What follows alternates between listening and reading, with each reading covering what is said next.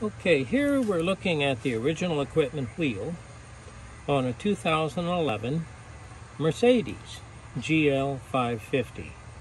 And the problem is we have a excessive amount of corrosion here that is disturbing the look of this wheel. Now, you'll notice that many of these wheels are actually plated, uh, plated or painted.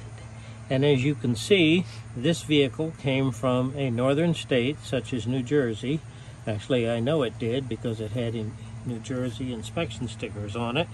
Yes, this is a used car just from the auction. Now, what are we going to do? We are going to replace these lug bolts with original equipment Mercedes and I'm going to freshen up the wheel center cap and what we want to do is try to just buff this area very lightly, not, not damage it. We're going to show you the tool we're going to use and then we're going to paint this kind of blend it in so it somewhat matches. Now, how about wheel rash? Or I sh should say curb rash. I got just a little bit, but some of this kind of will actually buff out with our tool. I'll show you in just a moment. Now, really, if you're going to completely restore a rim, the way we do it is we actually have to take it off the vehicle, dismount the tire, send it off, and they'll actually put the wheel in a immersion cleaner. All of the weights and everything will come off, and then they'll actually do some serious metal work there as far as building up the surface with a type of aluminum rod or aluminum MIG welder and grinding it off. And then of course completely painting the wheel. We're not going to go that far. We just want to take care of the cosmetic items. Okay, here we're getting ready to remove our wheel. This is actually 17 millimeters. Uh, here is a relatively thin wall impact socket that I'm going to be using. It exactly fits. Now one of the problems that you'll find on BMW, Mercedes, Audi, some of these aluminum wheels will oxidize and corrode to the steel hub.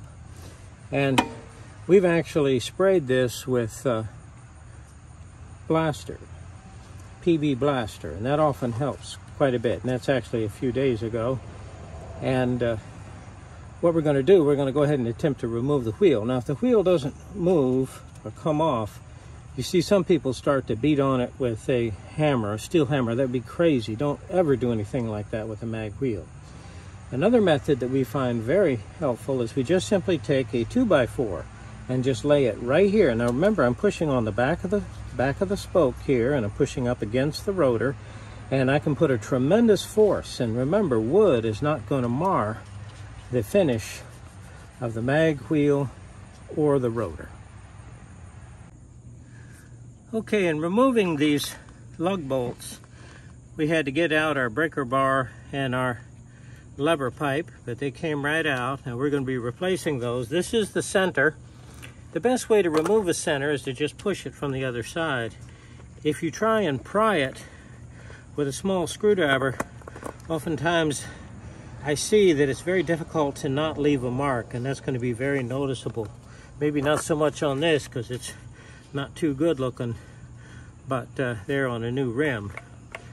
And that's one thing, uh, a lot of customers are very sensitive about their wheels. Okay, here we see an assortment of wheel centers, and this can do a lot to bring out the look of a used car. Now, these are actually all purchased on eBay Motors, very inexpensive. Now, these are factory lug nuts. Here is the original lug nut. Now this factory nut, lug nut requires a special socket. And of course, if you do this for your customer, please, please, please take the special socket and put it there with the spare tire. Now, you can take a conventional 17 millimeter and remove this lug bolt. But what happens is it will tear up the finish on the plating there on the cap of the bolt. So you certainly don't want to do that. You'll notice the big difference, 17 millimeter, and there we have our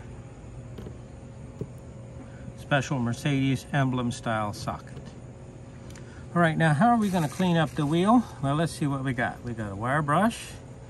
We have the special Teflon cleaning tool, nylon Teflon.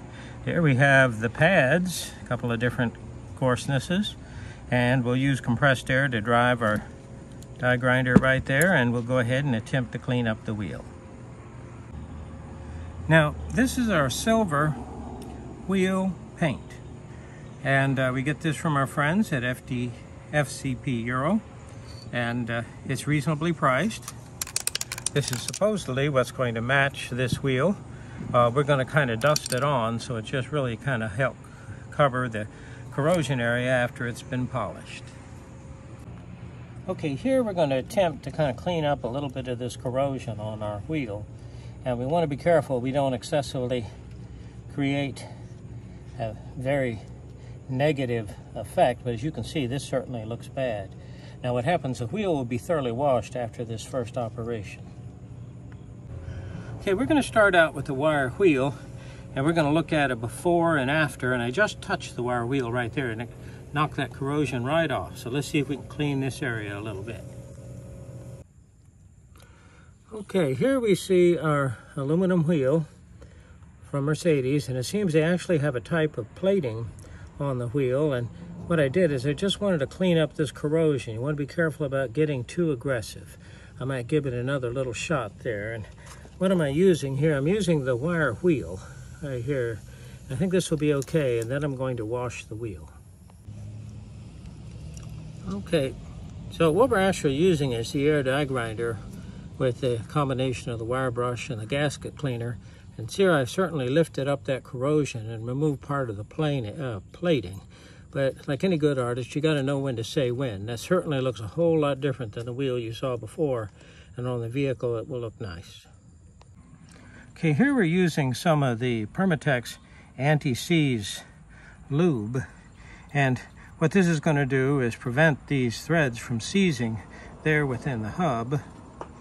And uh, here in two or three years these need to be removed. They're going to come right out without any trouble with just a conventional impact. Okay here we've cleaned up the wheel with it off the car obviously. Washed it very thoroughly and there these are actually factory now here is the original style center cap. It's actually lubed just a little silicone lubricant so that it slips right in. And there we go. Now that looks much better, much better than what we saw before.